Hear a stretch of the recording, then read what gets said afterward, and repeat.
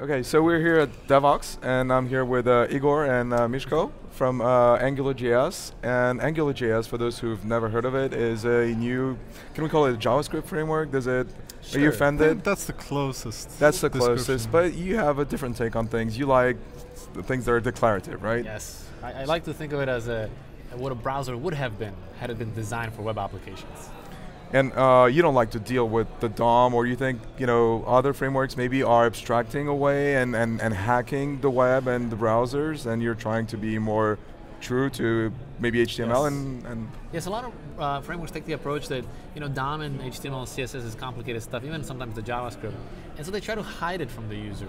And so we're kind of unique in that we're saying, no, no, no, we're just going to embrace it, and we're just going to see if we can monkey patch some of the deficiencies to make it better. So do you want to talk about data binding and templating and how that helps? So in Angular applications, we see that um, the biggest benefit you, you, get from using Angular is this declarative templating. In Angular, you don't do imperative DOM manipulation uh, just anywhere in your application that like you're common in jQuery applications. In in Angular application, you have a model. This model is something domain specific to your application, and this model drives the view. And it drives it in a way that um, you, you take this template and you declare to specify where this model binds to, to the template. And you let the templating engine figure out how to take the model and, and push it through this template and render the view and keep the model and the view in sync at in all sync, times. Right, so this is bidirectional. It's yeah, so it's a bidirectional. If you have input fields, we actually uh, take the user input and we push it to the model back. Um, if, you, if you have just, just single binding, we take uh, whatever changes happen to the model and update the view for you automatically. So um, something else uh, I understand about AngularJS is the dependency injection being built in, which is a term obviously it means a lot to say Java developers. Can you elaborate on that? And you know, what does it even make sense for Java and for the web? And is it about testability? So testability is one one uh, uh, reason why we embrace dependency injection. But in general, we find that dependency injection just gives you this guideline. So how should you structure your application into smaller components, and then have dependencies between components that are automatically resolved when the, when uh, any of the components needs to be instantiated. So not only dependency injection helps you with testability, it helps you just making the application easier to understand and, and write and maintain. And maintain. Yeah. yeah. Okay. You mentioned components. What was the component story in AngularJS? Do you build components, custom components? Yeah, so we can basically, we're trying to follow the web component story.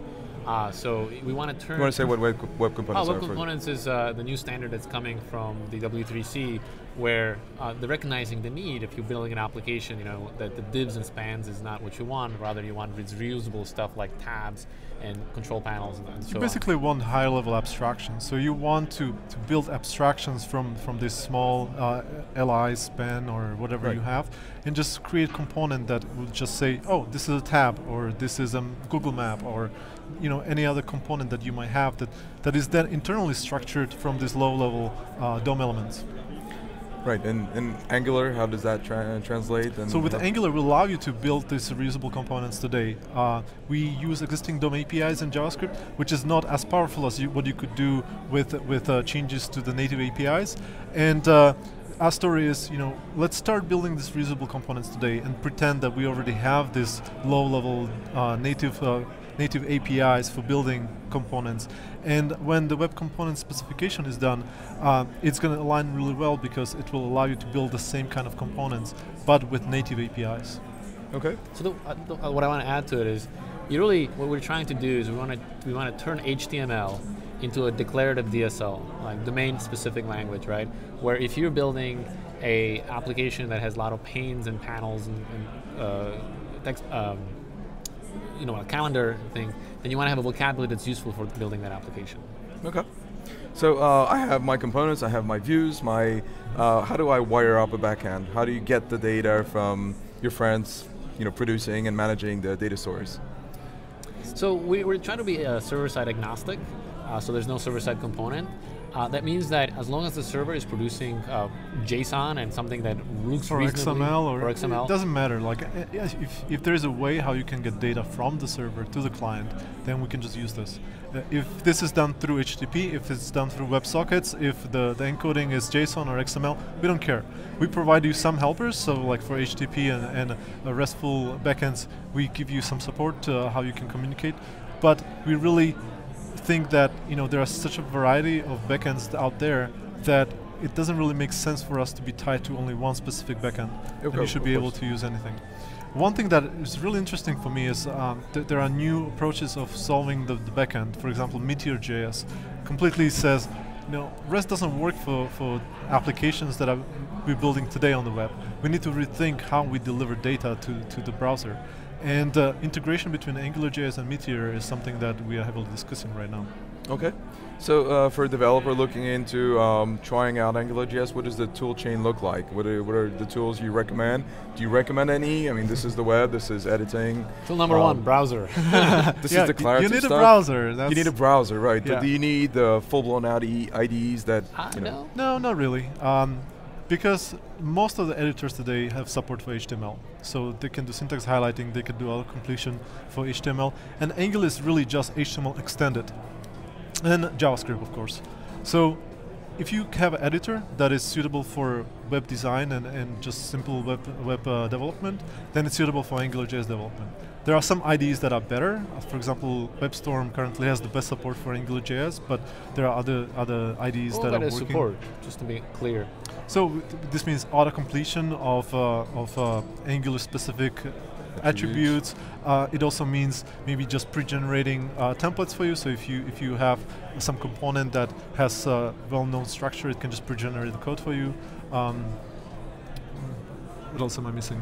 Testing, running tests uh, with Angular. So Angular is really uh, we we like like to tell people that they really should test drive their applications, Mhm. and IDE can help there. So having a good uh, integration with with uh, test runners uh, is important.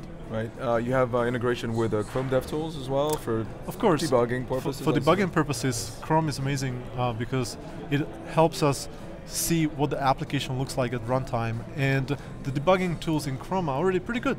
Like you can debug JavaScript, you can you can debug the element, and you can look at the DOM and see what state it is in. But we thought that we could do better, so we actually created an extension for the web inspector that you see in, in Chrome.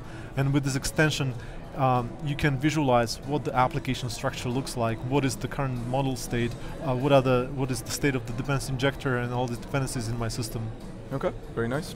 So uh, I obviously have written some JavaScript already. I have pages. I'm using probably some frameworks. Does Angular play well with those frameworks, or do I need to rip everything off? And, Yeah. and You know, that's something that I feel very strongly about. You know, I think one of the success of jQuery was that you didn't have to subscribe to the whole thing. You could just say, I'm going to start using jQuery on this little tiny portion of the page, and then I grow as I like it. And so we structured this the Angular in the same exact way, where you can just sprinkle as little of it or as much as of it you want. You can even use it with a round trip application, and then later on think about how you turn the round trip application into a single page Ajax application.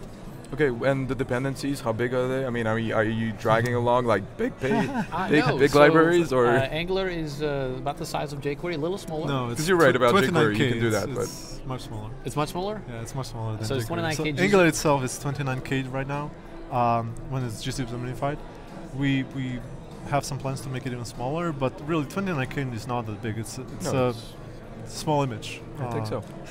Yeah. So, um, I, I think we're doing quite well there. Like we try to keep the core of the frame- framework small, and then if, if there are some functionality that we see that people use but not all the time, then that should be in a separate module that, that you can load if you want to. So and often th- this uh, this uh, brings up the question of what about components, like other components that the framework um, brings uh, and, and contains, and the answer is no. We wanted to build the core framework very small, and we wanted to make it possible to build all these components on top of Angular. So one of the design philosophies on Angular is everything should be extensible. So when you look at all these custom attributes that Angular created, like ng repeat, uh, ng show, all of this stuff is built on um, the APIs that are available to all the developers. So if you actually don't like uh, all of our custom directives, you can just throw them away and build your own, Okay. and just use the the HTML uh, templating core and the dependency injector. So where should people go to find out more about uh, AngularJS and get? AngularJS.org. .org. that's that's probably a good place. There's also this search engine called Google. yeah. That's pretty good. Does it work? Okay. awesome. Well, thanks guys for being here and then Thank you taking for the having time. us. Thanks for having Thank us. you.